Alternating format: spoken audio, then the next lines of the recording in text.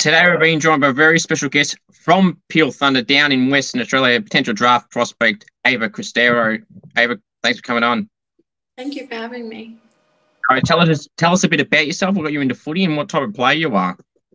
Um, so I currently play for Peel Thunder in Mandurah. I live locally um, I started playing football when I was 10 years old and I played for another local club. I played for Secret Harbour and I played so many sports growing up. And then as soon as I started playing football, I just dropped everything else because I just knew it was the sport for me.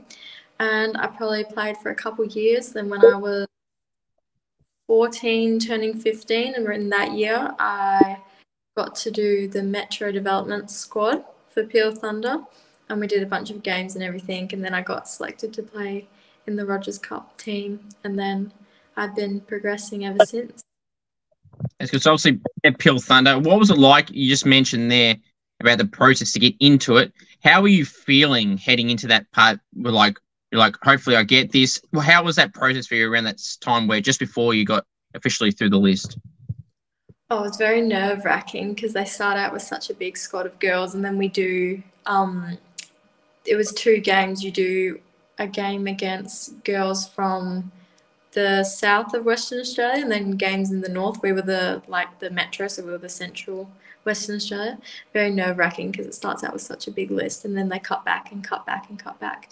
But I did love how like the experience of everything because I don't know, Peel's such like a family team. So everyone just even if you weren't in the team, you were made welcome and everything. So it was really nice. That's good. So obviously you plan to play more WAFL W this year in the league and reserve, or hopefully league. Um, obviously you've had two practice matches already. So how's those practice matches gone for you, and how's the experience leading into a season playing in those games? It was really good experience. The first one we had was against Claremont, who were obviously in the uh, grand final last year against East Fremantle. So those are the two teams we were up against. The first one, Claremont, the overall as a team didn't go very well. We suffered like quite a big loss, but individually, I played in the forward line and a little bit of midfield, and it was really good to just get back into it because you know like nothing compares to game day fitness like you cannot prepare yourself for that. And it was like the hottest day. So it was really good a way to like just you know bluntly get back to that um, even though it was a big, like the tracking and like GPS showed that we were we're so much fitter than last year, and I can say that for myself as well. Definitely, the different programs that we a lot fitter, and then in the second game again, definitely a lot fitter, a lot faster than last year. Um, kicked a goal in the second game because I played forward the whole mostly the whole game, yeah. and it, we gelled together better as a team. Our team dynamic worked. We changed up our structures a little bit, but definitely very, like a great way to start the season.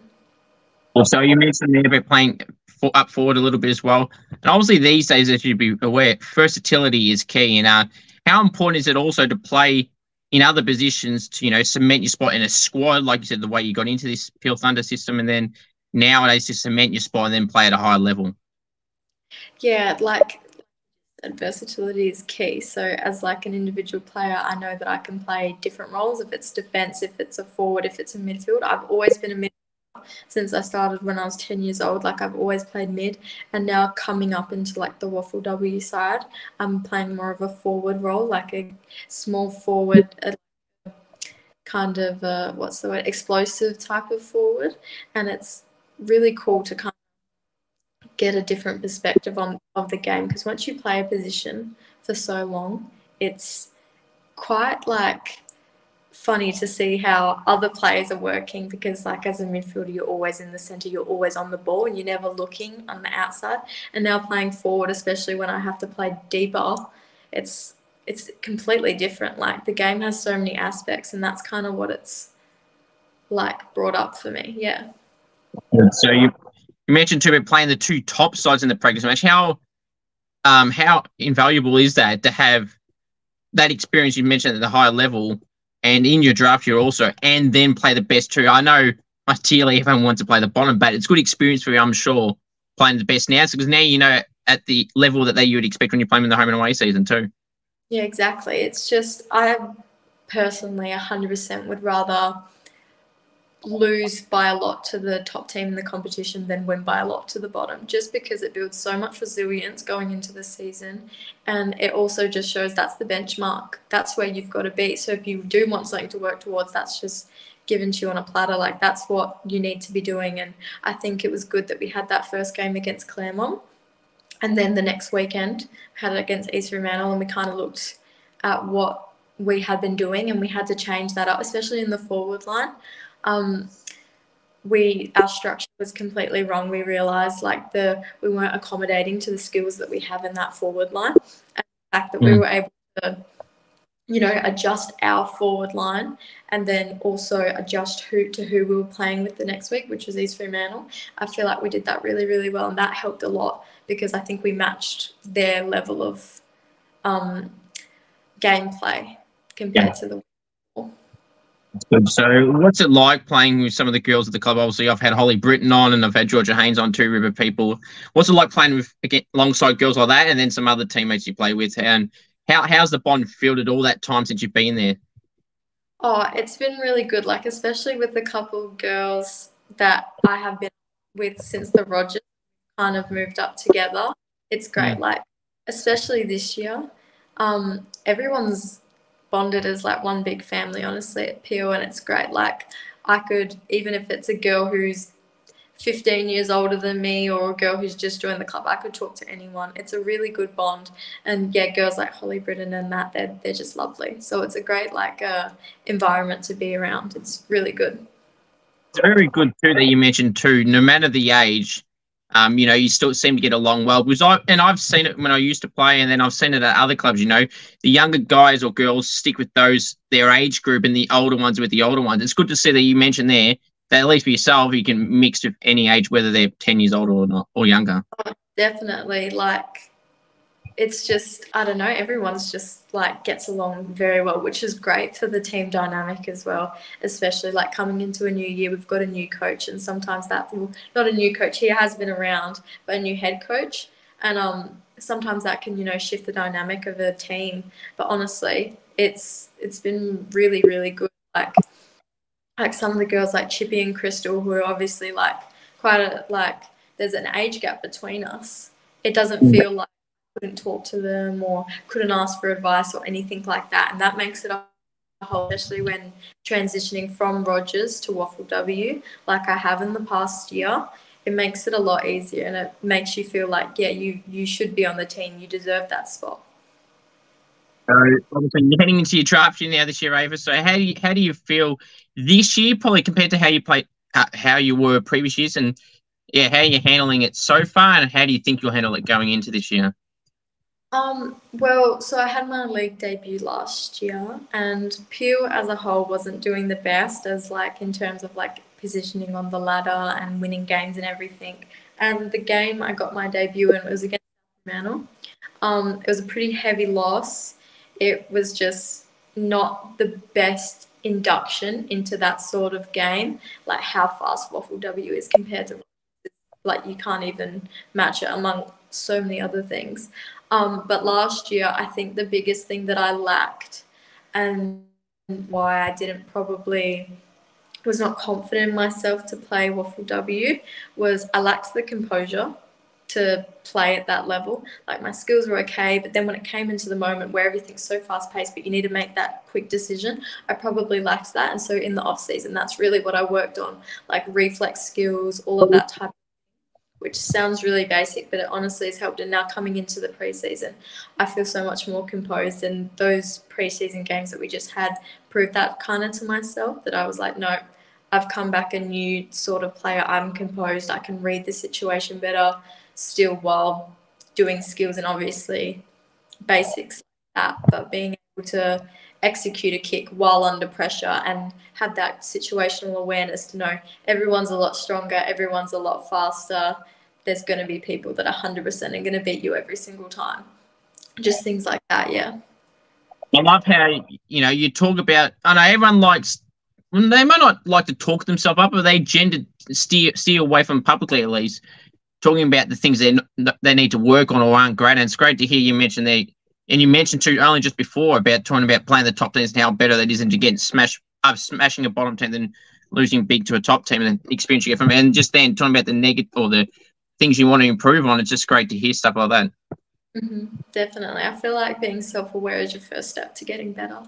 So if I know give myself a goal and set that. I try to do that before the week or before, like if we have like a game at the end of the week, say the preseason matches, I made sure that I'd set myself those goals and then work with them all week at training and then on the games. And if I didn't meet those like expectations that I'd set myself, obviously in the reasonable uh, they would be achievable goals. If I did not reach them, then I would look back and go, okay, so what's happened here? Why has this happened? Is it like an outside factor or is it my actual playing ability? So I think that helps me a lot as a player, and that's helped with my um, composure and resilience coming up into the WAFL W. Yeah.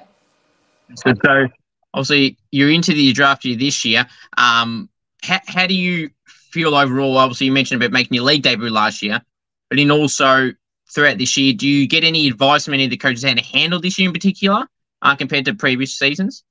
Um, yes, I do. I get a lot of advice, which is great because I'm always one to take on advice uh, from like coaches and everything. It's more just take it week by week, not mm-hmm. look at the biggest picture, like the draft at the end of the year. If it happens this year, if it happens a year after, you've got to take it week by week because like in football, especially in women's football, things can change really drastically. Like I could be planning something at the end of the season that a goal that I want to set, and then something could happen mid-season, and say like an injury, anything like that. So I feel like expectations and stuff like that. It's helped talk coaches and doing um oh, what are they called? Like idps and like writing down what the goals that you want and everything. I find that talking to coaches, what works best for me individually is setting short term goals, not necessarily in a year's time, three years' time, but in a week, in a month, what's going to work best then. So I feel like that's the best advice that I've been given by coaches is to what's right blocked by multiple hurdles that you that's good. So, okay, at, at this stage, then, what's some go- some mini goals you set for yourself, say, for the next month or so? Well, for the next month, we have. I want to consistently in my games run between nine and a half and 10 Ks per game. I want that to be my benchmark because I know that my, I know that I can do it and I want to just hold that fitness because when we're deloading after the height of preseason, I know that sometimes, especially last year, what I was injured this time last year, I was in a moon boot because I'd I can't even remember what the name is. I'd almost fractured a bone in my foot. And I know that when I came back and I was recovered, my fitness dropped really terribly. So I want to keep that going into the season. And another one is that I'm giving myself in game, I want to take at least two deep, like decent overhead marks because I'm not the tallest player, and that's a aspect of my game that I struggle with is that overhead marking and contested marking. So just smaller goals like that that I can build on. Because setting a massive goal, like I said, or even not even a long term one, saying that, well, I want to kick six goals this weekend, it's not achievable and it just sets you up for disappointment and then it um, doesn't motivate you to keep pursuing what you want to do. So those are currently two of my main goals that I've set. And you're very right there about aiming for something like a six goal game. It just, I mean, it could happen, but you know, if you want to be yeah. realistic, it's highly unlikely. Mm-hmm. Definitely. Well, what are some of your strengths as a footballer? What would you say some of your key weapons? Um, definitely my fitness. I I do I'm very good at endurance running. Like I'm probably not the fastest sprinter on the field, but I can maintain that speed for multiple, multiple, multiple attempts. Um, I've got a real. I'm very good at ground level because I don't have much height to me. So, con- like I said, contestant is not always my strongest, but my ground ball, I'm pretty confident in that. My kicking ability as well. I can kick on both feet, so pretty confidently. So that's probably my I'm confident with, especially currently, like right now. And other than that, I feel like I've got pretty good game awareness going into the season and explosiveness. I do think that I can bring that to an aspect of a team situation. Yeah. That's good. So obviously, um, footy accomplishments in your career in your career so far at any level. What are some of your major individual or team accomplishments you've succeeded in throughout your footy journey so far? That could be either at Peel or just at a local level. Oh well, when I was younger at local level, I was the captain, and I can't remember if best, uh, runner-up, best and fairest, or, or or most consistent player. I used to, I got every single year and I was the team captain. And then going into my first season at Peel, that kind of set me up.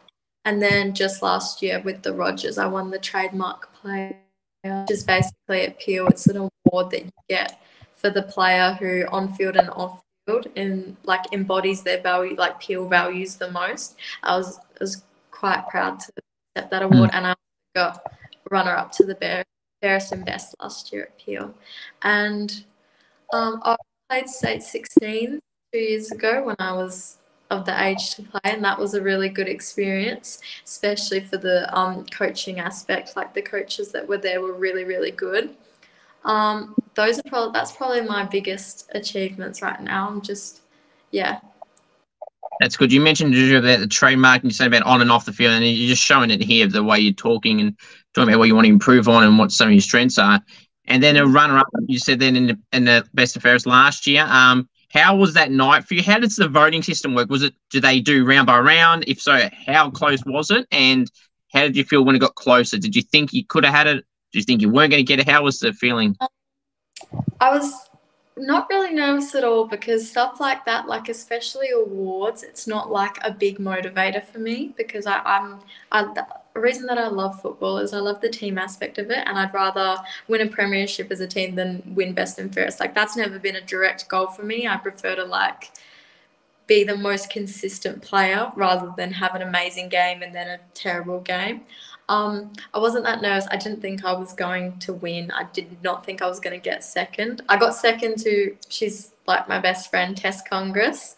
Um, she won by a far. I think she was on 86 votes and I was on 50 something. She won by a far. Um, it, we were more excited because it was Evie Couch's first year and she was, we were hoping her to win best and fairest for the league side. So I think we're all more nervous for her. But I was definitely proud to win the trademark player overall. I know that the runner up fairest and best and fairest and best is like a prestigious thing, but personally the trademark player meant more to me because it meant like my coaches and my like the players around me viewed me as someone who is like respectful and on and off the field and I think I like valued that a lot more. That's good. And um, leadership, I think you mentioned it briefly there. Is that something you've always wanted to be in? Is it something you're in appeal or something that you want to do in the future? Or if you don't have the title, are you more an off title leader where you still help out if need be? Definitely. I've like, in my football career, I've always gone for that leadership role, whether I was captain or whether even this year coming into the WAFL W season, I know I'm not the most experienced player. I'm not the best player on the field, but I know that my game awareness and my communication with other players in a leadership style can always pull through, even if we're absolutely gassed. I know that I can still communicate that. And um, yeah, I think I value that about myself because I I struggle playing along girls who can't communicate on the field because that's just the basic of football. And sometimes in girls' football, it can drop a little bit with the talk and everything, and it makes it really hard. So, something like that is so, it's like a 1%. It's like laying a shepherd. You don't have a stat for it, but it means so much when you're on, on and off the field. So, a leadership uh, position like that, I'm not looking for anything, but I'll always be the person that, yeah, like you said, doesn't have a title, but is always there to, you know, push everyone on. So obviously, two, obviously, I'm sure at some point throughout the year, if you haven't already, there'll start to be club meetings with AFLW clubs and everything like that. How do you feel you would go in your first um, meeting with the club, whether that's online or in person? And would that factor into how you feel, whether it was in person or not, being more nervous, or would you be? Do you think you'd be pretty cool and calm? I would definitely put on a cool and calm exterior, but on the inside, I'd be very, very nervous. I think, yeah, that would definitely be nerve wracking, especially this year because coming into the WAFL W and everything, it's a big change and stuff like that. Like, even this interview, I was so excited to do this because it's such a step up, and I feel like it's a really good experience and like prepping yourself for doing that because, like, WAFL W is like a big deal and it's a thing to be proud of. So, yeah, I would be very nervous. I appreciate you saying that about this as well. Um, so obviously, Peel obviously linked to Fremantle to some degree. So, how is it? We're having some of the Freo girls, I'm sure, would come to train some of the coaching staff at some point throughout the year, or they pop through from time to time. How beneficial is it to have some form of Fremantle flavour around already if that opportunity was to rise at the end of the year to be picked up? or it, just in those meetings that you kind of get a gist of what they're like already? Um, well, recently we haven't had anything like that, but Fremantle they do put on a like a 60. It's kind of like the state 16s. I did it for a couple years in a row where you go there and you train with the players and like the likes of like Hayley Miller and um Anya. She's the rock. I can't say her last name though, so I don't want to butcher it. Um, training with younger, yeah. Training with them when I was a little bit younger, I think that's the most involvement that I've had so far with Fremantle as a club. It was really good, and I think that's actually like, especially goal kicking. Um, the stuff they did with that and like the basic skills and then showing what their meal plans looked like what their gym like rotations looked like that was really crucial and because i did that in my first year at rogers and really put me on the path it was like yeah i really like value this experience. Like I'm very grateful for seeing what it's like. Um, probably the closest thing we have at the moment is Holly Britton's older sister Jade, who comes down from West Coast, not Fremantle, and she comes to trainings and helps out. And every time that she has a piece of information, I always value it because I know that she is on the outside looking in and she can definitely help help out wherever she can. Yeah, no, you continue. You're good. Yeah. Yeah, sure. Now you mentioned Jade and Holly, obviously being sisters. Now, when I had Holly on only uh, just over a week ago, the toughest question she's probably ever been asked: Who's the better player, herself or her sister? Who would you say is the better of the two as a footballer? Oh, both amazing players, and they both play very different roles. I think Holly's great in an inside mid and also in a forward role. Like we've been, they've just come back from training from being at the state 18s and being able to play like that high half forward role with her has been amazing. And then I've also I've always watched Jade play. I've never played with watched her play and her on the wing and everything. I've seen her play at the Eagles. She's just amazing. So I think they're both as great as each other in their separate roles, but they're both amazing. Yeah. Inside. Don't it, go straight down the middle. That's the way you go about it. Who did you grow up supporting? Oh, West Coast. I'm a proud West Coast supporter. Even though they're not in their brightest season, I've always been a proud West Coast supporter. Yeah. So, how interesting is it, is it to some degree being involved with Fremantle, but having that affiliation with Freo when you're an Eagle? Because obviously, like anyone, the two state clubs in this case, or in Queensland or in Adelaide, they don't really like each other. Yeah, it's a lot like that over here in like WA with the difference. Like even at school when you were little, if someone said to me they were a Fremantle fan, I'd be like, "Oh, get away from me! I don't want to associate with you." There's that divide, but um, I don't really think of it like that to be honest. I feel like I'm just proud to wear the Peel colours, and if they're associated with Fremantle, they're associated with Fremantle. I have a blue and gold heart, but yeah. Now, I don't know what this was. This is a bit of an off topic because I've never seen it happen before. But on your screen, a thumbs down thing popped. I don't know what that is, but what I will say is I didn't put that up. I don't know how the hell that's happened, but it did. So I was thrown off. I don't know how that happened, but that's all good. We'll move along. I just wanted to say that for people to think that I put that up, I did not put that up. Um, and didn't see it, so no, it was there for like two seconds. I thought oh, I was really? seeing. It was literally just beside your head like there, and it popped up a thumbs down like that. Oh, God. that, that is the person I've got completely thrown off now where I was at. Um, now, obviously, obviously, you would see some mates get drafted over the last year or so, get picked up. Who's someone you, or even if you don't know them personally, but someone from the same state or another state are you're most excited to see how they'll go who have just been picked up? Oh, definitely Kaitlyn Srhoj. Um, right before she left to go to Sydney, when she was still at training, she's still training with us, and it genuinely, I look up to her so much as a player. The way that she can move the ball, it looks like she's in slow. She's not in slow motion, but it looks like she's in slow motion. Like even the way she runs, she's so just like she just everything she does is just perfect to a T. Like even if she mucks up a kick or it doesn't it doesn't look like she has and she always has second third fourth efforts. Like i remember in my first year i think it was i watched her play a game in the WAFL W and the way she moves the ball it's just like she was way ahead of her age. Like she should have been like at an AFLW level. I'm very excited to see her play just because i have i've taught like known her. I've been able to talk to her when she's going through that um, transition to moving to Sydney. I feel like that's going to be very exciting to see how she does. And yeah, I'll definitely be in orange colours going to watch her when she gets to play in WA. And, uh, yeah, I've had Kaitlyn before. She's fantastic. And I've obviously mentioned some of your teammates on Holly and Georgia. And um, there's probably more as well. Or, and people from other, not just Appeal, that have talked so highly of Kaitlyn and just shows what a great character she is, what a great person she is, person she is. And going back to her you know, as you said, appeal when she doesn't have to.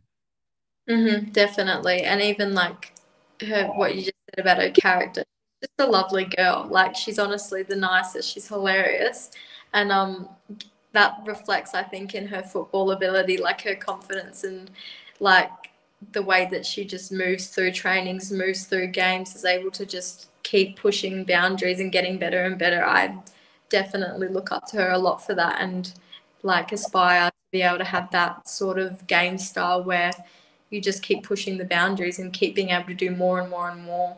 Yeah, it's amazing.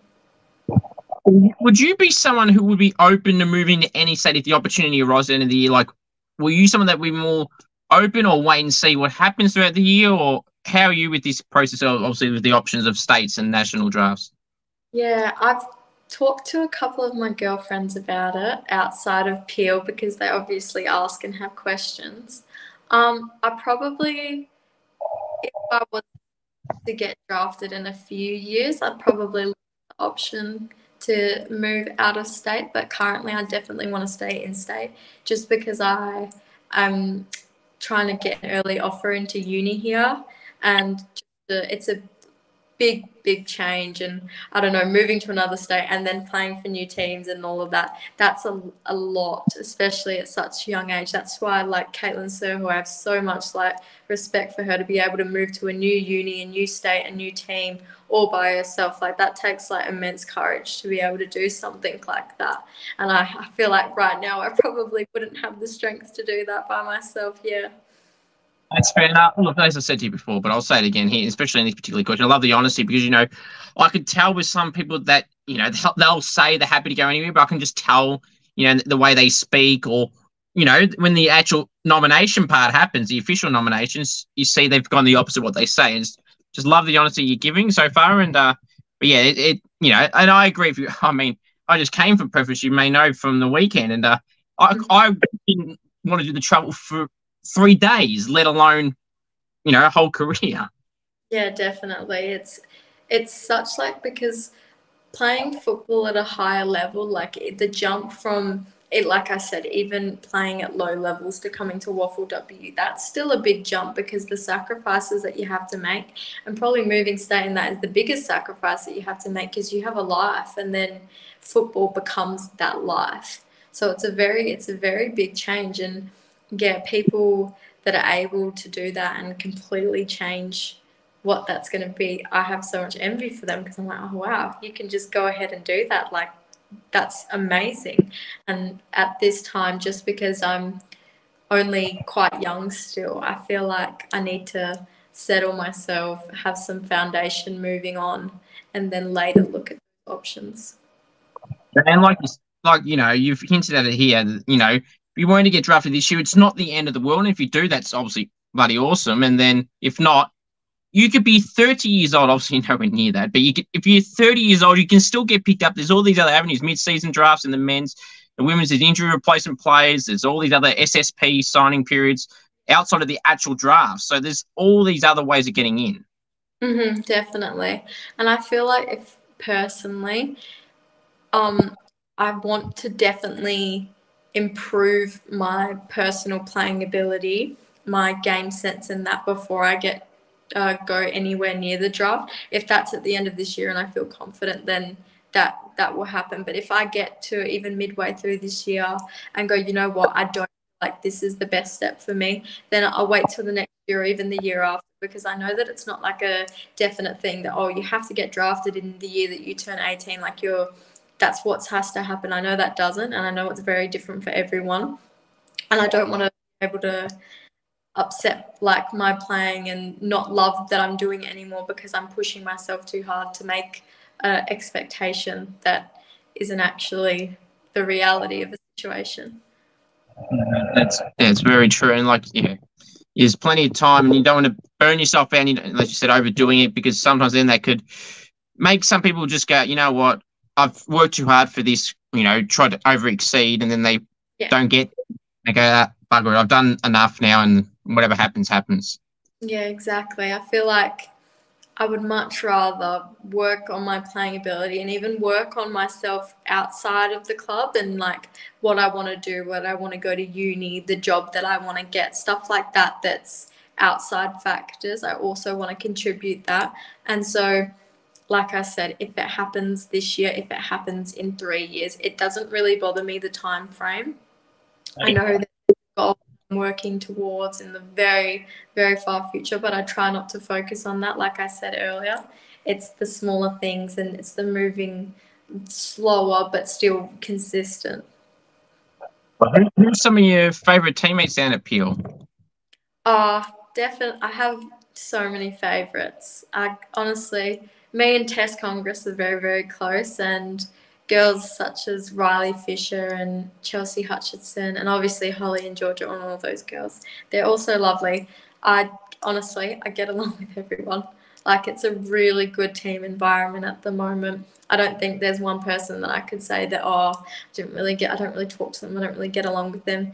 Everyone, like it's a really, really, really good place to be at the moment.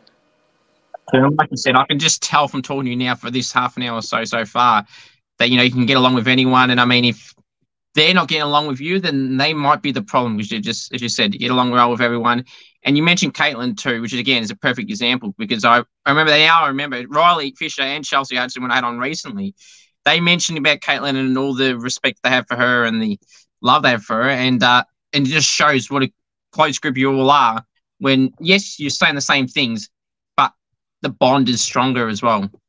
Oh, definitely. And I feel like that comes through not necessarily winning games all the time and being at the top of the ladder, having to share the common like losses and the big defeats in games. Like, obviously, no one wants to go through that, but it does build you closer as a team. And I feel like in different scenarios, it can either, like I said, build it, build you closer, like it done has done with us, or it can completely oppose you and make you resent what you're playing for. And I don't think myself individually as a player losing like that could make me resent, but I know I have seen it with other players that I've known in the past that losing and having that like poor team and not winning a lot has affected their how much they love the game and how much they want to play. So I feel like that's a really big aspect in how we've all come together. Um, and other than that, no, we're just like a big happy family at the moment. It's honestly like it's the thing I look forward to during the week is a Tuesday and a Thursday training. Like it's honestly the best because the social side of it, even with the staff, like the physio, our S and C coach, they're just like the best people to be around. They're so funny and it's just like a really good vibe to be around. Yeah. You mentioned, I mean, you mentioned about losing streaks and everything like that. Teams are struggling. I unfortunately know that it took me only, or my team, uh, literally until about three, four games ago. It took 1,092 days between the last win.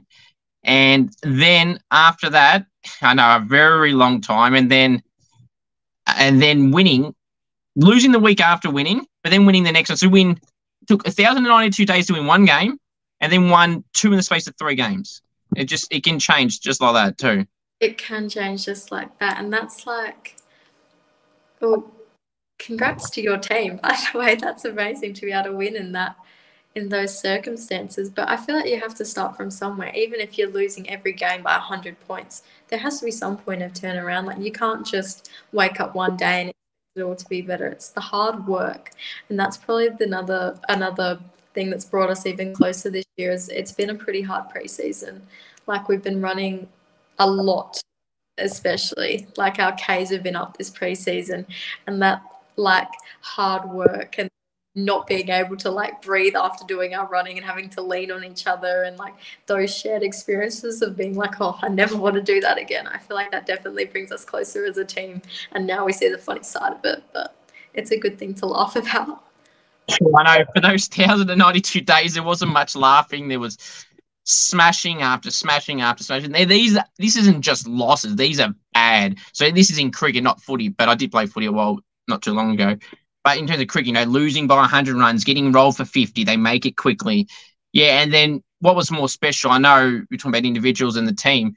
There was two guys in particular in that team. Everyone that's been in that team's either played randomly or played another grade and won there. So they'd have really, you know, kind of had their winning feeling over time. But me and this other guy, we had been in. I was a thousand and ninety-two days, and I thought that was bad.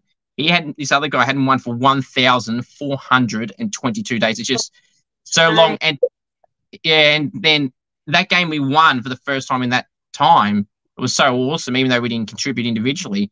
And then this other win two games later, we're like, you know, we had this win, we're so happy, and we wanted to contribute. So the next game we won two games ago, we were chasing this mammoth total of 333 in cricket in 40 over match. And we're playing, you know, we're not that strong. And for us two individually to basically get us over the line made all that thousand plus days oh so sweet to win your team the game single handedly in the end. Yeah, it must have been a good celebration after. I mean, there's a cricket vlog I, I do every cricket vlog every week, and that one was a really nice one. Let's just yeah. say. Yeah. Yes.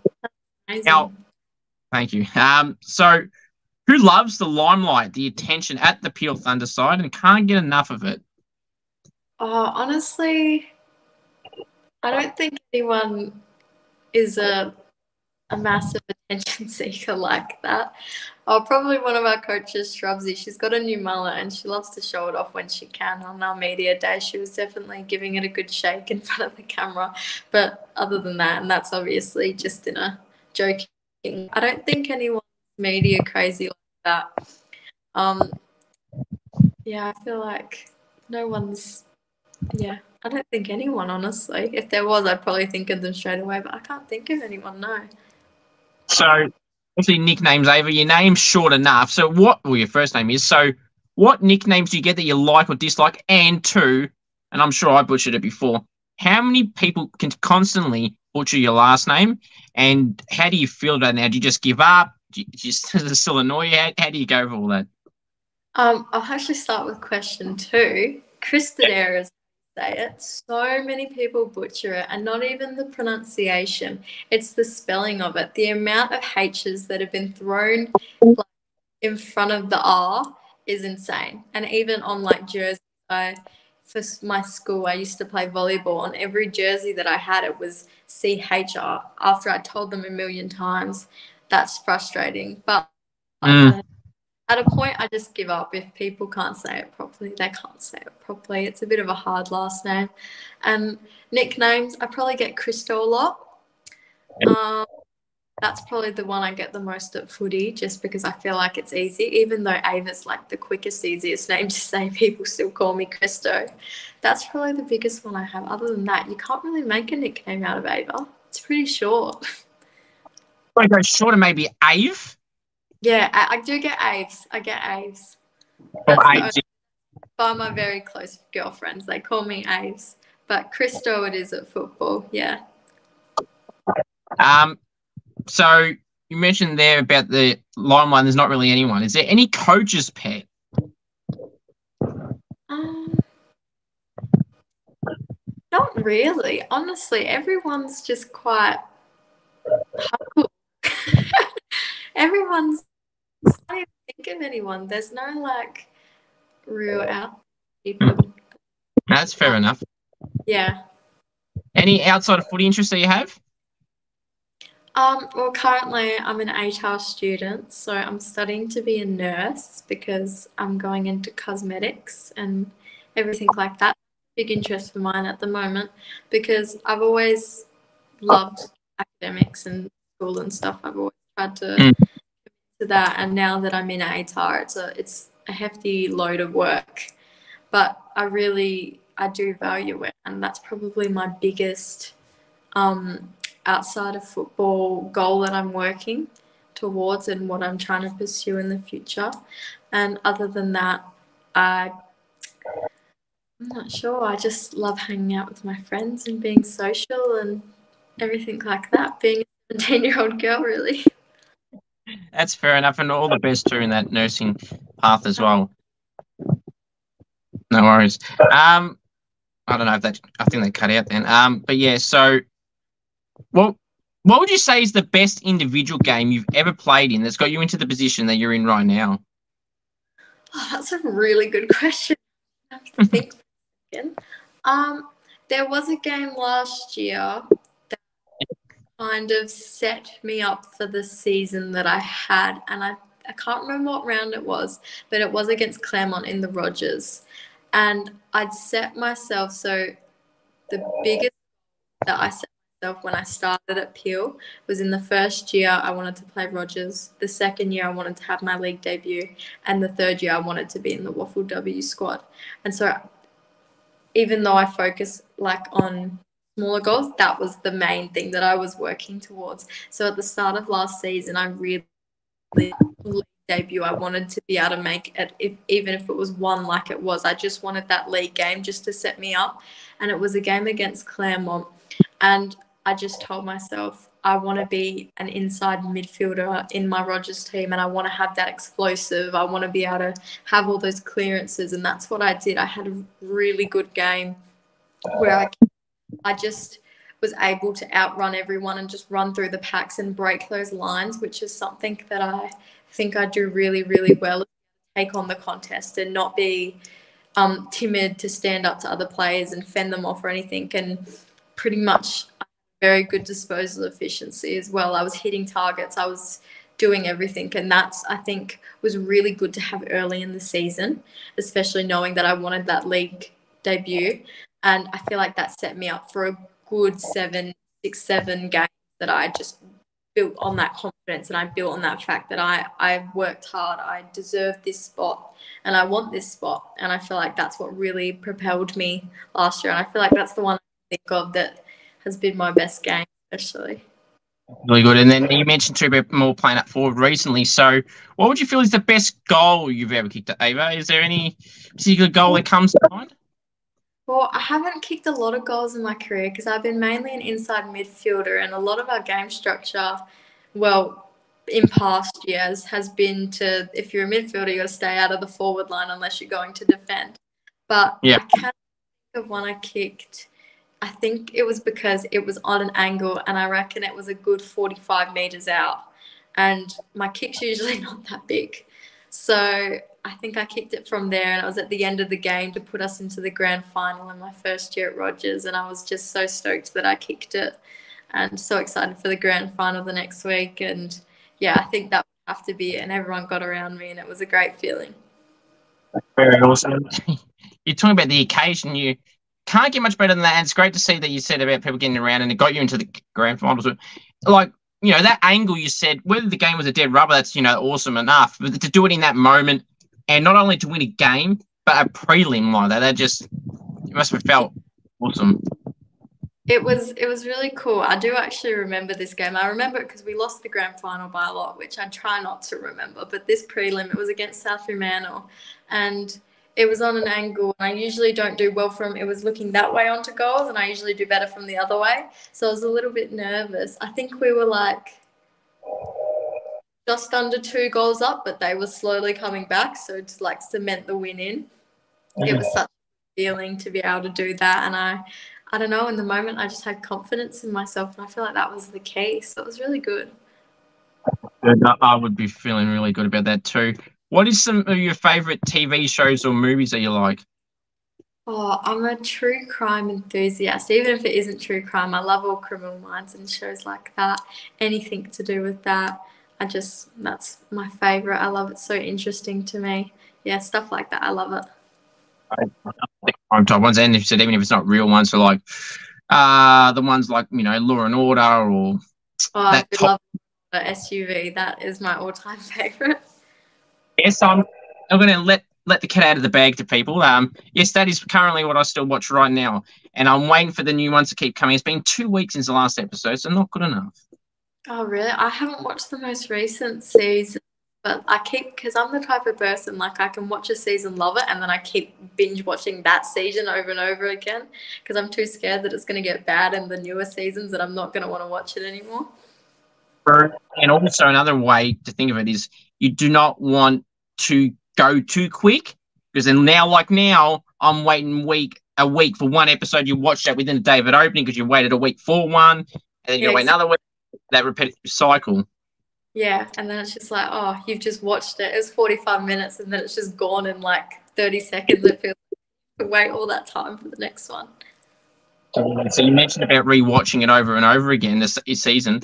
Are you one to remember scene by scene? Because I certainly am. I don't think I am. I'm just a little. Scene, but pretty much a lot. I'll say more than half. Yeah.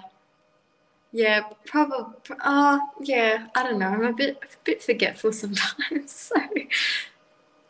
I try and find a way now, Ava, where I try and forget because I watch it wanting to pretend like I don't know, but I really know, and I'm just trying to zone out, so I'm not even thinking about it while watching yeah. it for repeated ones, just so you know, because I like it, but it's like, okay, this this guy's about to get hit in the head, back of the head in three, two, one. There it is. You know what I mean? Like you can just know when it's coming. I try not to have that.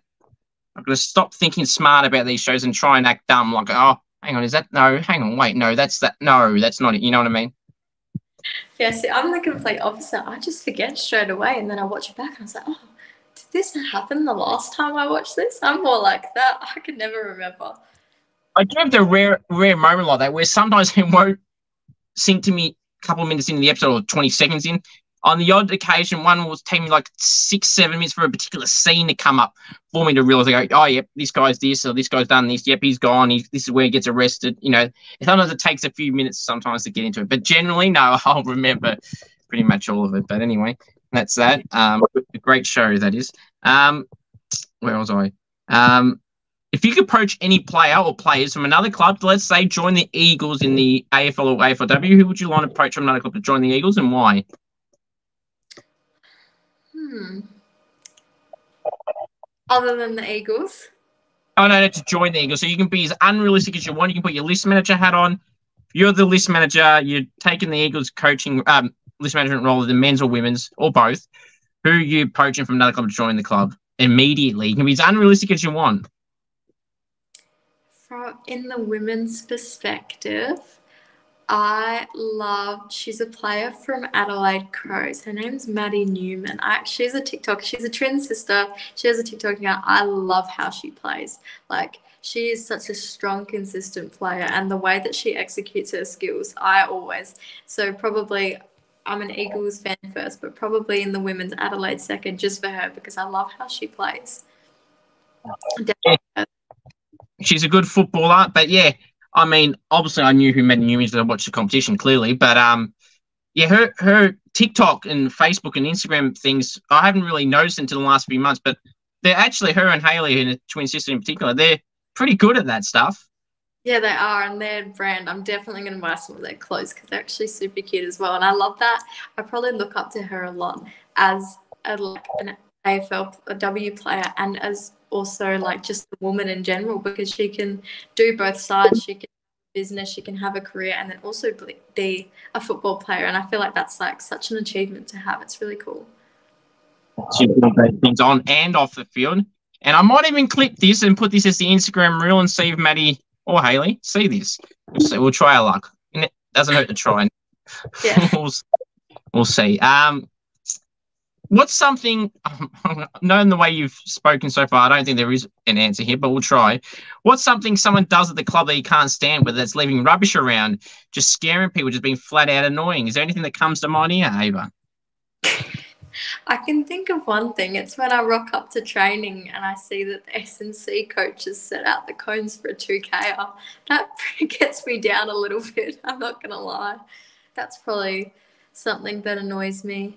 Um, I don't think it's anyone in particular, but um, oh, if the bibs aren't washed and we have to put the bibs on and they absolutely stink, that is one thing. I hate that. The smell of them is so gross. I, I remember back when I was playing about five years ago, and I remember the exact same. It was just absolutely disgusting. And I said, even at some point, I'm like, I'm not wearing this. This reeks. But anyway, um, and you know, you mentioned too about the training. I actually recently went to the under 18s, you know, and talking about the 2K time trials and stuff. And I asked some of the girls there through through my channel, and I asked them, I said, "Oh, how did you just go with the 2K? How did you like it?" They said they loved it. I, I don't know if that's a real answer. Who likes that? Yeah, I do not believe that for a second. I cannot stand 2Ks because I know that I'm a good runner. I know that I can do it. And then it comes to the moment and then I feel terrible. Like, this is not how I thought I would do. That's very true. I mean, it, it doesn't help that one of their coaches was right near, literally about 15 meters away. So it's like, you got to pump it up. He's right there. Yeah. that may have been why. But anyway, regardless, though, uh, you can be good at it and everything, but how you enjoy it and that, especially at you know hot weather or just consistently. Uh, uh, make, weather. Yeah, I I applaud the people that do that for that do athletics really and stuff like that, and in any and all conditions. I've seen them doing in the wet, on track and field and stuff like that. It's actually pretty impressive now that I bring it up and think about it a bit more. Yeah, it is honestly, especially in those type of conditions. Like the preseason over the summer, it's been like so hot, like forty degree days, and it's still thirty eight degrees. When we get to training at like five o'clock, it's it's just the worst because you just you know that hot air feeling that you can't breathe. So I feel like I it's like awful. I'm just like great. I can't wait till this is over. And while I was in Perth for the three days, I think we brought the Victorian weather back over a little bit because it was just mid 20s. Or one day was 30, but it was like a cool breeze on what day would that have been? Friday, I think it was. And it wasn't that bad. It was hot, but not extremely hot. Um, and then Friday, uh, Saturday, Sunday was nice and cool and a bit wet a little bit. So that was nice change. Yeah, that would have been that would have been so much better. It's been a bit cloudy. It's still been humid, but it's been a little bit colder at the moment. So thank God. I know that's that's definitely a change for Perth at least. Um, now you mentioned earlier about dropping some other sports earlier on. So, how did you feel you fared to those other sports outside of footy that you played? Um, I have always been a really athletic. Like ever since I was little, if I wasn't doing a sport, I wasn't happy. If I wasn't outside running, I wasn't happy. So I've pretty much tried like every single sport book. I've been a dancer. I've played tennis, soccer, basketball, netball, done all of them. Um, like I said before, like as soon as I started playing football, I knew that it was like my sport, like the thing that I loved. And I've always tried to not necessarily be in a team, but have a different sport at the same time that I was doing. So footy didn't consume me and I had an outlet of sport that I could still pursue. And it was just for fun. So like that's been volleyball for me at some point. Yeah. Um, I've done gym things, swimming, anything like that. I just, I always love any sport, but it's just a way of fun because football is fun. But then when it really comes down to the wire and you have to focus in, it's good to have another sort of outlet that you can use for sport that isn't just quite intense. You mentioned all those lists of sports, and I'm sure you probably mentioned something you haven't played, but did you ever play cricket? I did not like for a team, but we used to do schools cup for it to be oh, the nice. battle. Yeah, I did enjoy that. T20, it was very, very fun. So did you just say then you were a batsman? Mm-hmm. So there's a catchphrase I like to use. Um, you can say if you do or don't, but um, or like it or not. But I have for for batting. So the last two years before last year, I was more of a batter, and then the last few years I've been more of a bowler. So originally I started with a catchphrase where I only deal in boundaries because literally I was either going out or in boundaries. There was no in between. And for week at bowling now, since I brought in the last two years, getting a fair few wickets last year and a little bit this year, is only dealing wickets. What do you think of that catchphrase? And were you one when you played at the school level to do either or, or both? Oh, probably, probably more of the first one, but I do like that catchphrase. It's actually quite clever. That's yeah, I like that. That's really good. I've never been the best at bowling, even when we do it just at like the carnivals and everything. I definitely, yeah, I think I'm definitely more of a batsman, but I do like that. What it it was dealing dealing only, only with wickets. Yeah, only dealing boundaries, only dealing wickets. They're the two. Wickets, I do like that one. That one's good. Yeah, I literally so used to have a merch store for my page and everything, and I literally, I'm not even kidding. I had one of them was as the wickets was only reason, but the other one when I did have it was the dealing and boundaries. I literally had a shirt for that. Oh, really? Oh, that, uh, see, that's so cool. I love that.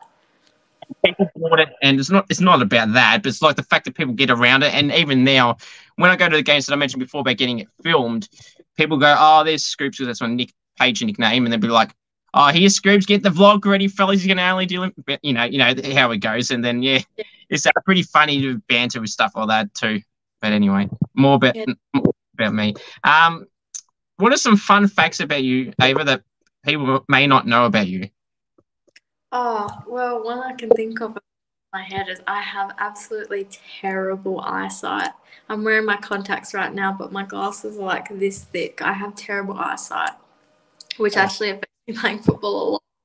But um, what else can I think? Oh, I'm only, I'm not that tall, five foot. I think I'm, yeah, I'm not that tall. Um, anything else. You get the, do you get short jokes? Yes, I probably make them about myself more just so people don't feel bad when they make them about me. Because if we're doing a drill and I get put up against like a rock, I'm like, oh, great, this is going to be so much fun. Um, but yeah, not not a lot. I get a couple though. Definitely from a girl on my team. Her name's Ari Norris. She definitely hands them out, even though she's probably like that much taller than me. She definitely hands them out a little bit. That's a little bit hypocritical then, if you're basically the same. Yeah, I tell her, I tell her, but she swears that she's so much taller than me. No, she probably is. She's, I reckon she's about like five six, so she's a good bit taller than me. But to me, it's like that much. Um, Mark or goal of the year? Which one? Which one would you rather do, and why? Oh, that's such a good question. Personally, I'd say Mark, but because if I was to take a Mark of the year and take a massive specky, oh my god, I would be so happy with that. Just because I usually that's not my aspect of the game, and I feel like doing something different like that that would be so cool. And oh my gosh, so watching Evie Couch and the marks that she takes and all the speckies, that's so cool. And I I think to myself, oh, I wish I could do that. If I had another life, I would make sure I was like had a jump like her, able to do that because that's just so cool to me. The way that they can fly in the air and then catch the ball at the same time and take a great mark. You mentioned too earlier about um, marking over your. I think it was over your head. You said you wanted to improve on a little bit, and uh, yeah, yeah well, that, that would be a big tick if you can start doing those hangers and you know, you, you can't go wrong either way, can you? Mark, goal. I always get a 50 50 answer. I choose goal because I was a forward and yeah. always was. I wasn't a bench warmer, as people say. I was a forward. So, um, yeah, I love goals. And I mean, if a, a mark, if there's a photographer there or it's on film, you can get a nice new profile picture if you're paying one. You get a hanger. Good photo of you up like that. That would be really cool. I love stuff like that. That's the same, yeah. And then for a goal, I mean, I, I still choose that, but you know, you can get a film or you can put it as a, I don't know, a pin post or something like that, or something you can just send around, or something you can just watch over and over again. And would you do that too, by the way? If you were to nail one of those, would you watch it over and over again? And would you post it? I'd probably watch it over and over again. I don't know about posting. I get a little bit nervous to post stuff that. I don't want to come across as too like boastful or anything. If I took mark of the year, I'd probably post that though. Goal of the year, oh, maybe I would. If like the Peel Thunder page or something posted it, I'd probably repost it. But I don't know if I'd post it myself. I didn't. Oh yeah, I get a bit nervous to do that. Um, Oh, I've got to a point. If there's any advice you want to take from this, is I used to not want to do that, but then once I did the first time, it just went on from there. Now I'll just do anything like that, whether it's not a goal or much, it'd be something funny. I'll just post it. Like, uh, there's this gimmick I try and do off a wrestler who tells people tells people to acknowledge him, and now I literally just use that as a piss take every video, or not every video, but a lot of videos, a lot of posts, a little bit in a clip, like I just literally before we all came on here, and I just put that up and put it added pyro effects and just take the take the fun out of uh, make the fun out of it now. But it's just a ongoing thing. At first, people got pissed off, and now they love it. So yeah, just if they love it, and keep doing it, uh, keep yeah. going ahead with it. Um, yeah, now defenders, I feel like they deserve a bit more love, Ava. I don't know about you, but they're in the public eyes from a AFL and AFLW point of view, they don't really get recognised as much as the mids or forwards do because the forwards obviously got the Coleman, mids got the Brownlow, and rucks again recognising the Brownlow as well. Do you do the defenders need their own official title as well, whatever you want to call it, but do they need one as well? Absolutely. Defenders are the reason that you win premierships, like especially in that third quarter when after half time and like the hard gut running hits for that first bit, defenders are the reason that you either win the game or you lose the game. Like they're amazing and their ability to like like the cohesion that you need with other defenders to be able to work the ball out in like high pressure situations. Because even in the new forward role that I have, if I if the ball gets kicked out of our 50, yeah, probably need to crack down on that defense, but it's it's not that pressure that you get put on 100% of the time. Like as a defender you have that that 100% it needs to be up there with the brownlow and have a defenders award because they do the most work out of anyone on the field. Like the midfielders win clearances to get the goal forwards kick the goal but defenders are the reason you win or lose honestly. I feel like they need so much more recognition what do you think of the name? Well, um, I can't claim to have made this name. The late Danny Frawley did on on Bounce all those years ago was the Golden Fist. Do you think that'd be a good name for it? And it could be a good way to commemorate the life of Danny Frawley as well too. And he was a defender. And on the show, yes, he did as a piss take, but it was also serious as well. And they still do it in his honour now. Um, and they have that. I don't know if you've seen it, the uh, trophy for it. It's actually a big it's golden. And they bang when the when it's not broken. By the way, it seems to be broken all the yeah. time now. But yeah, that could be a good name, don't you reckon? Yeah, I think it's good. I used to watch Bounce all the time when I was younger, and I still do when the footy season's in. I used to love that show. And I remember when he did pass away, how sad it was. And I like that they still use that to commemorate him. I feel like that's a good way for that show. I feel like we have to come up with a different name because I feel like that's Danny Frawley's like a memorabilia type thing. I feel like, and I feel like a golden fist is good, but defenders do so much more than that. They're marking, even ground ball, like smothers I feel like they need an award to like commemorate all of them. They honestly do so much for the team. They're the backbone of the team, honestly. Very well said. And now you've probably convinced me to actually name it something different for the reasons you just outlined there. You know, leave let, let Danny have that and then um, think something. And I'm sure someone will come up with some other name if they were to ever do something like that. Now, have you ever had any player interactions as a fan to an AFL AFLW player? If so, how was those interactions? Were they memorable or not? Um, yeah, with the AFLW side, I have done Fremantle like days and workshops with them and knowing like Hayley Miller. Obviously, that was like I was a bit starstruck to meet her for the first time, and like Emma O'Driscoll and girls like that that have so I have so much respect for, and like it was honestly like a starstruck moment to meet them during that. And or in actually I didn't remember this. In my she plays Belinda Smith, she plays for the West Coast. Um, she was doing a physio prac, I think, and in my metro squad when I used to play uh, going into Rogers, she was the physio and I got strapped by her. So that was probably the first one. And oh more recently, because like I said, I'm a West Coast fan. We got to stay at the Crown just on a family holiday, and we shared a spot next to Luke Shuey and his family. So that was pretty cool, honestly. That was really, yeah, really cool. That's really that's coincidental, but also pretty awesome. Just randomly saying the same building with the population of whatever it is, and building that's got so many people in it, and just happened to one out of a million. It's Luke Shuey. Mm-hmm. It was really cool. We ended up giving our little spot because we were leaving for dinner for him to sit there. Had a good chat because my I'm a West Coast fan because my dad has always been, and I honestly play football because my dad loves it and I love it because he loves it. And he used to play uh, reserves for the in the WAFL back when he was playing. So his love of football is transferred to me, and I honestly sometimes play because I know he loves it and I love it, and we both do it together. Yeah.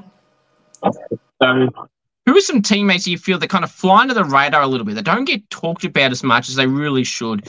I mean, or or they get talked about, but not at the level that you feel that they truly deserve to get talked about at. Um, first person that comes to mind probably the girl that I'm closest to at the club is Tessa Congress. Um, she's never really likes to be directly in the limelight. She's very humble like that. But honestly, she is an amazing player, whether that's in a defensive role, if it's an in she's an all-rounder. Like the, her attack on the football is insane and her work rate, she just can go and go and go and go. And I feel like she needs so much more around her because she's an amazing player and like to play with her in the different levels of WAFL W and then in Rogers, like she was my first friend when I came to the club and just I've always looked up to her and everything that she does because she is an amazing player. And other than her, girls like Chelsea Hutchinson, who you had on a couple weeks ago, I feel like definitely like Chelsea is just amazing. And she'd like the way that she can like move the ball and her mark is insane, especially for a girl that's like she's only my uh, 17 and she's just so ahead of her years. Like she's amazing. Um, now this this can go either way. I reckon you'll name some people. I'm just confident you will. Who is the best chatterbox of the club? Oh, definitely me. I'm such a chatterbox. I can talk to everyone. But other than me, um, oh, let me think. can't even think. I can backtrack. We come back to it. Yeah, I feel like I'd have to say myself, honestly. I'm very big talk to everyone. Uh, so, who's a teammate if you were stuck on a deserted island with that you'd want to be stuck with? And is there any that you wouldn't want to be stuck with? Um, the person I would choose to be stuck with is probably our captain, Chippy. I feel like she would just know what to do, know how to get out of that situation. She's like really, really clever like that. Hmm. Obviously, mm. she's a bit more experienced, and I feel like I would just like panic and go, "Oh God, what's going on?" Um, yeah, probably her, and I probably wouldn't want to be stuck with. Oh, I don't know. I don't think I would not want to be stuck with anyone. I feel like we'd eventually get off, even if we were really lost, but probably one of the older girls like Chippy, I would choose to be stuck with because I feel like they would know what to do and I'd just be so lost. So it's very smart, very smart. Don't necessarily just pick your best mate. Pick the experience, the one that you feel might assess the conditions and know what to do and get out of it and everything like that.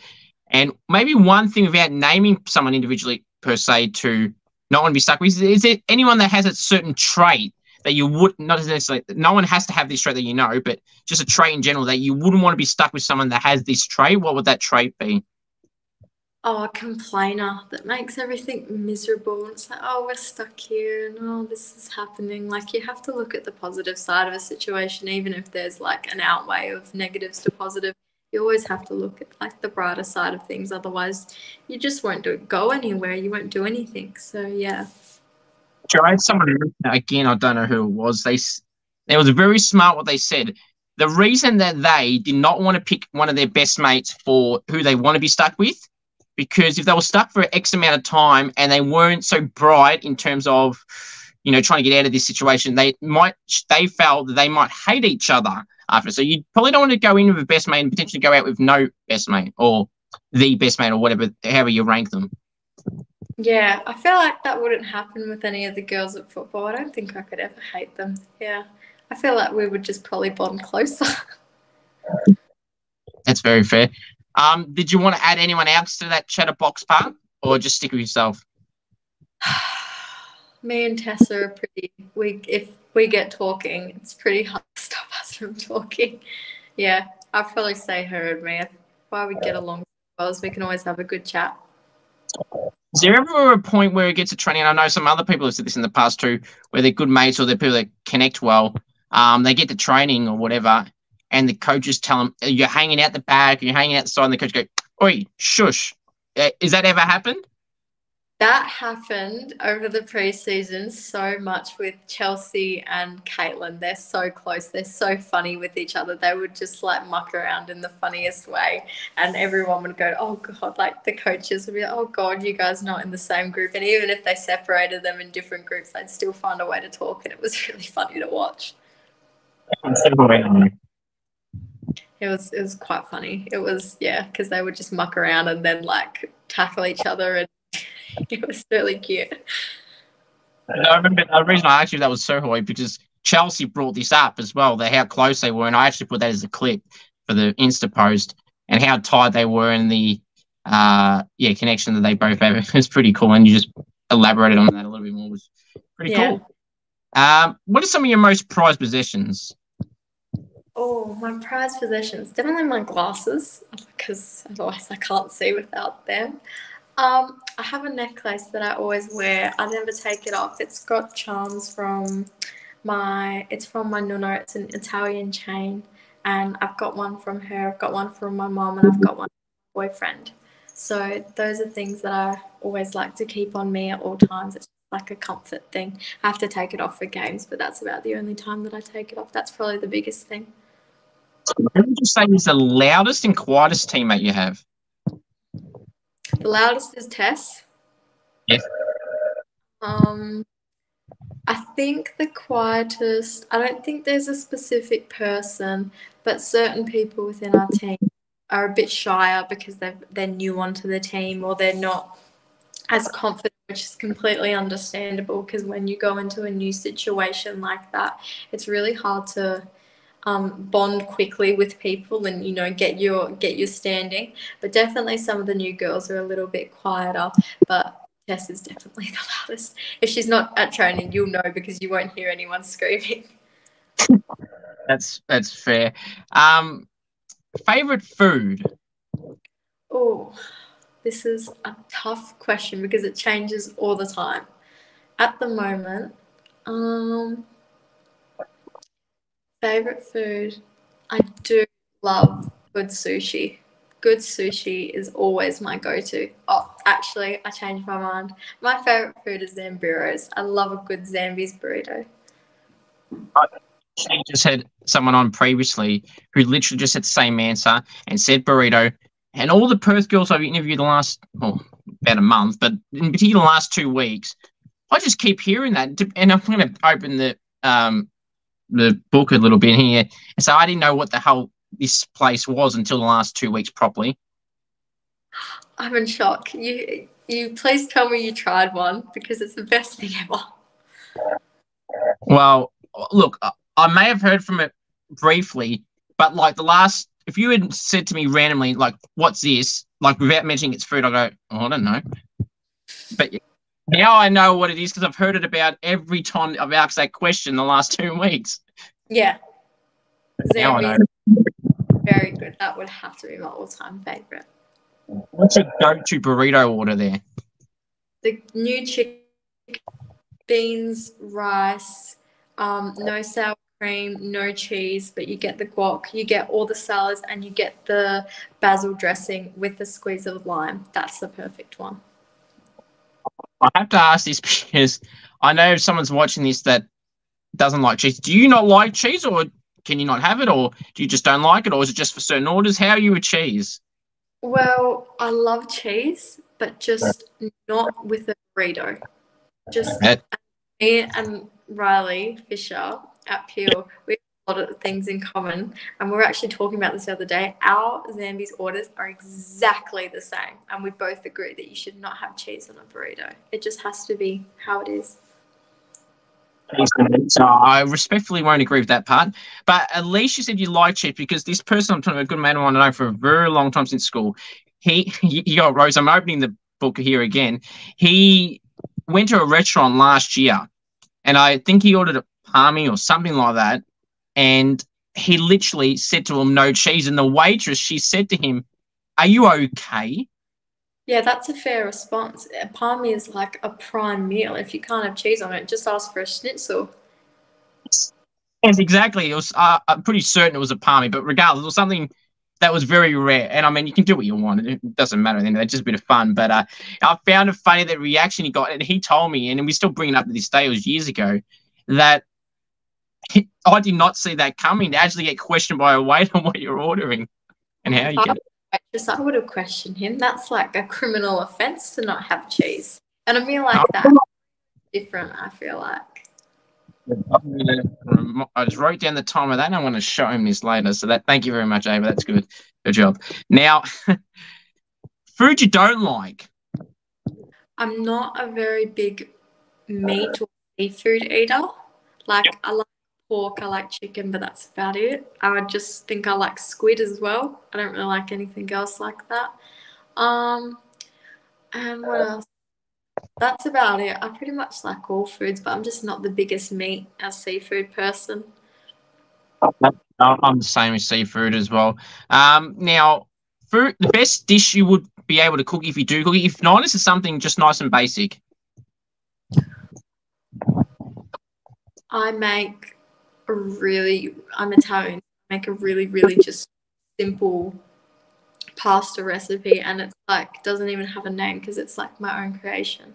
But I do make a really good pasta. That's again, that's a very popular answer for anyone, and footballs in particular. And I love that answer because that's a good one. Um, favorite, actually, I was just gonna ask you favorite takeaway place, but you answered that before, basically. the place that I now know what it is. That's the that's the place. Uh, what's some quirks someone would say that you have that you wouldn't necessarily like to admit? Um, probably that I laugh when I'm talking about a funny story before I've told the punchline or like told the story. I can't help but just laugh when I'm saying it. That's something I do get told a lot. That's good because you you know you know in your back of your head you've been waiting for hours or days or weeks or however long. You're like you you're laughing before you even say it out loud. Yeah, and in my head, I'm thinking of it's like a situational story, and I'm thinking of what happened, and I can't help it. I just start laughing again. We're on the same page yet again, right there. Um, I'm the exact same. I'll, I'll there'll be something I have in the back of my mind, like if we go to cricket training tomorrow or Thursday, and I'll say, I'll have something in my head now. I go right. I no, do not message them or don't ring them. Leave it in person, get their reaction, and then just go from there. Yeah. Uh, celebrity crush. Oh. I don't really know if I have one. If I had to say, I'd probably say Jake Gyllenhaal. That's about it. Um, okay, so how would you fancy yourself running the goals and now playing up forward? Um, just recently. So how would you fancy yourself in any of the forward situations, either a set shot, on the run, on the boundary, uh, from a distance? I mean, you've got the distance and angle covered. You just said before, 45 meters out in the prelim. It was a fluke, though. That was a fluke, I reckon. Fair enough. But uh, yeah, how would you fancy yourself in general? You reckon? Um, set shot, I'm pretty confident in. My range is about 35. Like as a median answer, I can go a little bit further than that, um, depending on the situation. Set shot, I've always been confident in because I don't know. I feel like I back myself in my routine. On the run is sometimes where I struggle, and I'm especially talking to coaches about this recently because I put the jets on. I'm going very fast and then when i don't like give myself that time to take the steps to balance then it just Mm. I've really come a long way with that this preseason and i feel like that's something that i've improved on a lot and from the boundary i've had a couple experiences with that and i feel like I feel like I could do that pretty well. I don't know. I've never had a lot of experience with that unless we're in like training, practicing like that. And I do like a good banana, a good snap. As we love banana goals. Um, so I got a few more questions for you, Ava. So I really appreciate it, and I really do appreciate it. Um, actually, I'm going to start with this before I get to the big question at the end. So, I'm going to do a bit of a word association, just one name or name association, I should say, not word association. Now, what would be? I'll I'll have to read it out if you can't see it. So, how it'll be um, is the dots will represent the letters that are missing. Um, and you have to fill the gap out. You can say it out loud now. It's a first and a last name.